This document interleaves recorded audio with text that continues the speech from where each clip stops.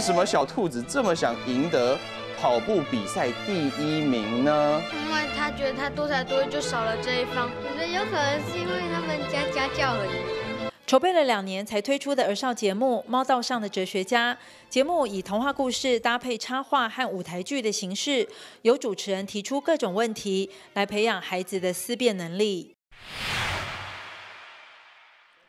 猫道上的哲学家这次可以得到五星奖的肯定，我们非常的开心。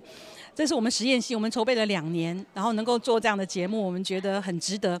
因为我们去参参展国际影展的时候，他们讲到未来哪一个国家的电视节目可以让小孩子启发他们的思考，那个国家就有竞争力。后来我们发现德国跟日本的节目很容易让小朋友思考，所以我们回到台湾就想要说做一个节目是让小孩子一点进去就可以参加思考的。我觉得第一次得奖是对于整个团队的一个肯定。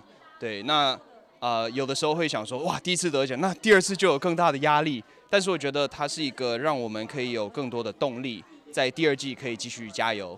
嗯，所以我觉得它是，即便我我是一个门面，大家看到我，但是后面有一个很庞大的团队在支援，所以我觉得能够得到奖是是也让那个幕后的辛劳也可以提到台面上，让大家知道说。这个不只是一个人或是几个人在做的，而是我们大家的呃心血付出是是有一些肯定跟成果的。我们是用呃这个节目是用童话故事，然后从里面找出一些观点，像那个国王的新衣，我们就会问有没有最美的东西，全世界有没有最美的东西？那如果说小美人鱼说我要到海上去探险了，我们就问小朋友怎么样算长大？那灰姑娘听爸爸妈妈的话。怎么样算是孝顺？好，什么叫公平？是不是一视同仁？等等，让他们可以来啊讨论思辨。那这个思辨能力的过程，让他们更加的自由，他们发现真相不止一个啊，可以从多角度来看，间接慢慢他们就会成为一个比较尊重别人、容忍别人的。希望将来他们有公民素养。从儿少观点出发，优质五星儿少节目不断提升内容创意。